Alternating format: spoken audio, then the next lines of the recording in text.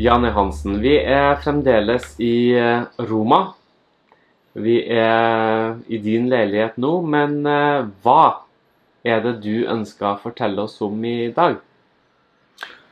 Som jeg ønsker, og som du også har ønsket, et norsk monument i Roma. Det finnes bare tre-fire. Det er P.A. Munchs grav på den ikke-katolske kirkegård. Det er tre plaketter på veggene utendørs, henholdsvis over Ibsen, Bjørnson og Sigrid Undset. Og så er det kanskje et av de viktigste samlingsmerker for nordmenn i Roma, og det er Olavsalteret. Altså den hellige ø, norske kongen som ifølge Snorre døde i 1030 under slaget på Stiklestad. Nå tror jeg enkelte historikere er i ferd med å mene at kanskje ikke sto det noe slag. Om det sto et slag, kanskje ble ikke Olav drept der, men faktisk før slaget i et lumsk bakholdsangrep. Det endrer ikke på historien. Uh, I 1893 var det den norske kammerherre til Den hellige stol, og det var ikke en hvilken som helst stilling. Wedel Jarlsberg, han var sågar av en sånn norsk slekt, som fant på å ville gi daværende pave, Leo den 13., en gave. Og det var et dobbelt 50-årsjubileum. Det var 50 år i 1893 siden daværende pave Leo den 13.s prestevielse. Og samtidig var det 50 år siden den katolske kirke hadde fått norsk tillatelse til å gjenopprette sin virksomhet i Norge etter den lutherske reformasjon av 1537. Og Vel Jarlsberg fikk da en polsk maler som uh, bodde og arbeidet i Roma på den tiden, Pius Velonski heter han, til å lage et stort, staselig portrett av den hellige Olav.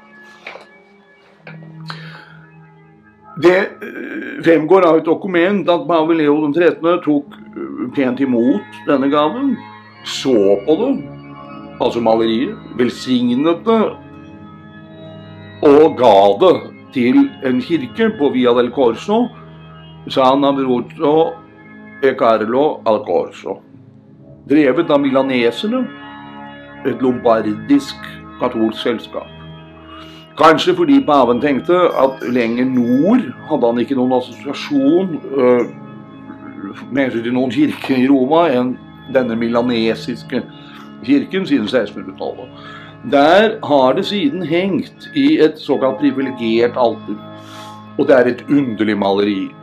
Uh, vi må huske på at en polakk i Roma på 1890-tallet hadde antagelig ganske vage forestillinger om hvordan en middelalderkonge som kristnet Norge, særlig etter sin død kristnet han Norge, skulle fremtre både som statur og i et landskap. Så i dette landskapet så ser vi en bitte liten uh, stenkirke uh, oppe i en åskant. Og selvfølgelig i 1030 fantes det jo ikke en eneste kirke i Norge. Det er jo én ting. Men så er selve Olav, hans figur Ja, han er absolutt fremstilt som konge. Han har krone på hodet, han holder rikseple i den ene hånden og den andre hånden om sitt sverd. Og han står sågar og holder den ene foten på hodet av en nedkjempet drage. Du kan lese Snorre opp og ned, og det finnes jo ikke noe belegg for at hellige Olav har nedkjempet drager. Det er jo et attributt som tilkjennes den hellige uh, Georg. Men symbolverdien er gjenkjennelig. Nemlig at hellige Olav, som jo for fram tidligere i sitt liv med uh, mye vold og, og, og, og slagsmål, har nedkjempet ikke bare ondskapen, men hedendommen i seg selv. Det representerer dragen som han holder en fot på hodet av.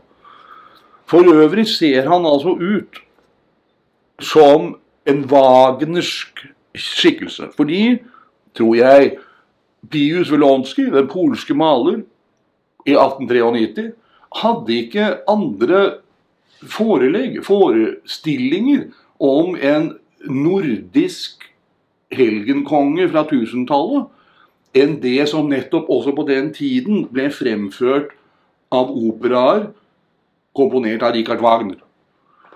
Så dette med veldig bredbrystet fremtoning og veldig pompøs skikkelse, og selve habitten også, tror jeg er wagnersk imponert nei, Unnskyld, påvirket hos en polsk maler i Roma som ikke hadde andre forestillinger, og som i hvert fall ikke har lest Snorre.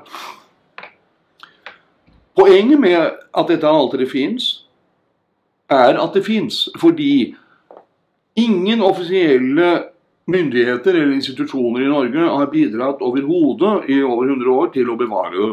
Det er bevart fordi private initiativer, øh, unge kvinner, eldre kvinner, og de senere år en forening til Olavsalterets øh, bevaring, har fått den kirken til å forstå at det finnes nordmenn som vil samle seg foran det bildet ved dette alteret.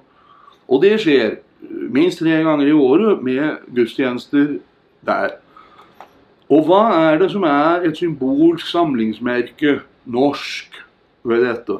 Jo, om det er katolikker, lutheranere eller ikke-troende, kan man, hvis man er opptatt av hva Norge er, samle seg foran bildene av denne helgenkongen. Fordi det eneste som ikke har endret seg i 1000 år i norsk historie, er at Norge i 1000 år har vært et kristent monarki.